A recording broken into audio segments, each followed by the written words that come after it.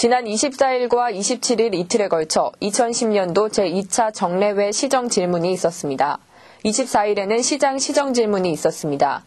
오세창 시장을 비롯해 시청 각 부서 공무원과 시의원이 참석한 가운데 시의원들이 잇따라 시정 질문을 벌였습니다. 맨 먼저 시정 질의에 나선 심화섭 의원은 여성장애인 출산 장려금 지급 문제, 각급 학교 상하수도 할인에 대한 답변을 요구했습니다. 사실 심화섭 의원님이 지적하신 대로 그런 것이 제대로 하는 것이 저는 옳다고 생각을 합니다.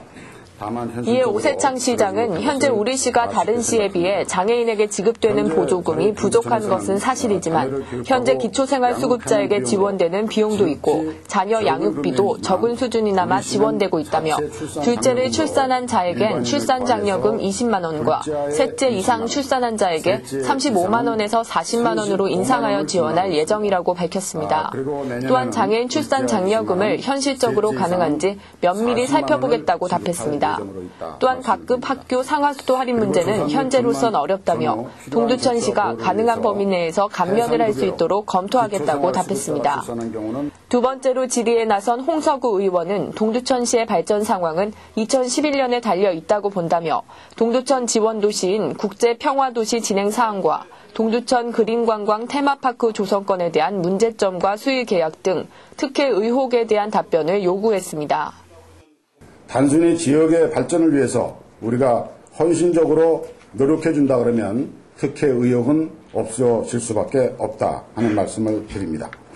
오세창 시장은 동두천이 침례 신학대학과 MOU를 체결하고 있는 등 발전해 나가고 있다고 밝히고 우리 시가 산림이 68%인 개발 가용지가 부족한 면이 있기에 산을 이용한 테마파크 조성이 필수적으로 필요하다고 보기에 또한 그린관광 테마파크 조성 수익 계약은 무엇인가 받고 도와주는 것이 특혜라고 생각한다며 투명하게 지역 발전을 위해 노력하면 특혜 의혹이 없어질 것이라 생각한다고 말했습니다.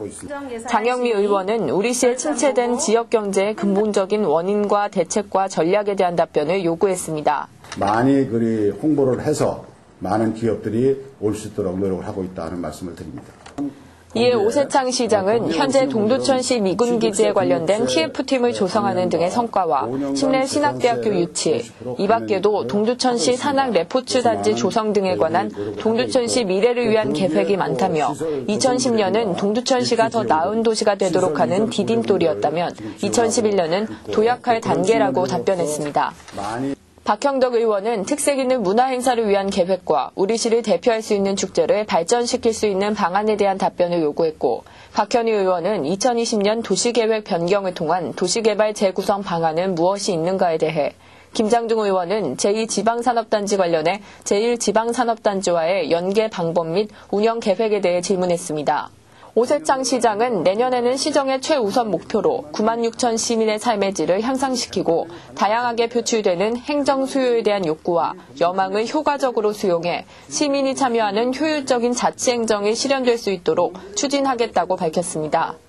이날 시정 연설을 통해 밝힌 2011년도 동두천시 역점 시책은 경기 북부 섬유 봉제 지식산업센터 건립 등 지역 경제 활성화를 통한 경제도시 육성, 국도 대체 우회도로 건설 등 교통 허브망 구축, 산악 레포츠 단지 조성 등 민자 유치 사업으로 생태 관광, 휴양 도시 건설, 교육 환경 개선과 평생 교육원 육성, 대학 유치로 인간 중심의 교육 문화 도시 조성, 저소득층 자활 지원 사업과 연계한 복지 도시 건설, 생태 하천 보건 사업 등을 통한 생활 환경과 주거 문화 개선 등입니다.